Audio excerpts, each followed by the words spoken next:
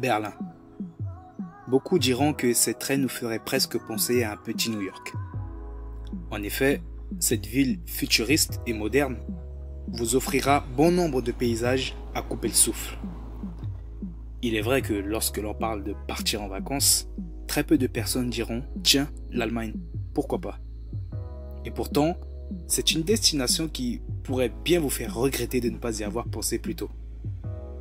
La propreté de la ville, l'accueil chaleureux des locaux, un système de transport fluide, des architectures incroyables, Berlin est l'une des plus belles villes résidant en Europe.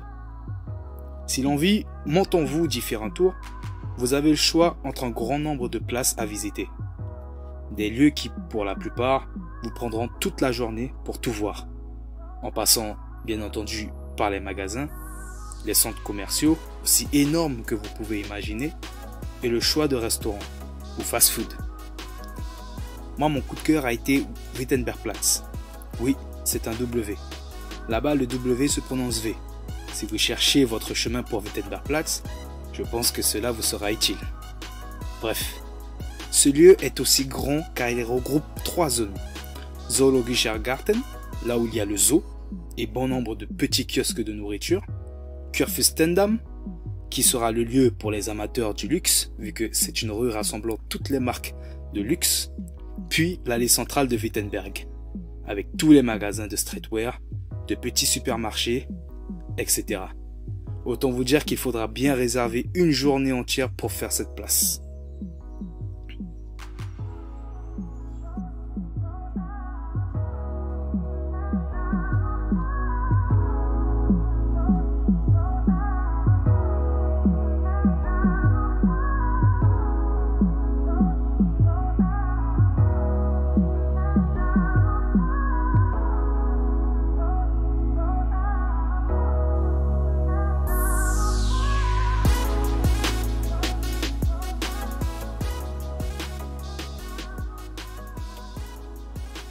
Vient maintenant Alexanderplatz, qui est l'un des principaux lieux de visite à Berlin.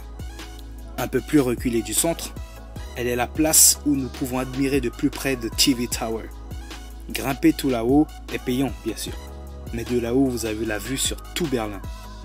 Alexander est un lieu où vous pourrez trouver des centres commerciaux comme la Galeria, qui, comme plein de centres commerciaux, a ce système à étages souterrains.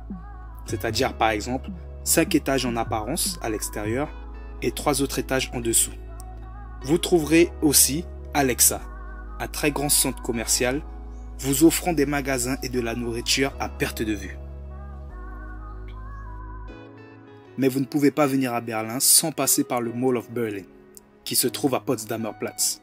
Sa particularité est que non seulement il est coupé en deux pôles que regroupent l'Est et l'Ouest du mall, et de ce fait pourvu de 5 étages si l'on ne compte pas séparément les deux pôles, mais il détient un étage destiné qu'à la restauration, et de la restauration bien entendu venue du monde entier. En effet, vous avez le choix entre la nourriture chinoise, thaïlandaise, américaine, indienne, arabe, africaine et bien d'autres encore. Je ne pourrais pas m'étaler plus longtemps sinon cette vidéo sera trop longue, mais n'hésitez pas à faire un tour à Schlossstrasse, à Kescher Market ou encore Charlottenburg. Le système de transport est l'un des plus fluides. Mais avant tout cela, achetez un ticket de transport aux bornes rouges que vous trouverez dans différentes stations de métro un peu partout.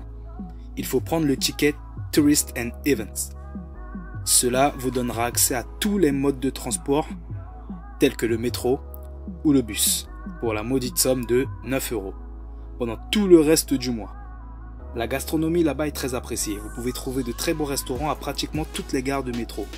Vous pourrez acheter du café, cappuccino ou chocolat chaud avec des croissants, des pains au chocolat, des mini pizzas ou sandwichs ou de quoi vous rafraîchir.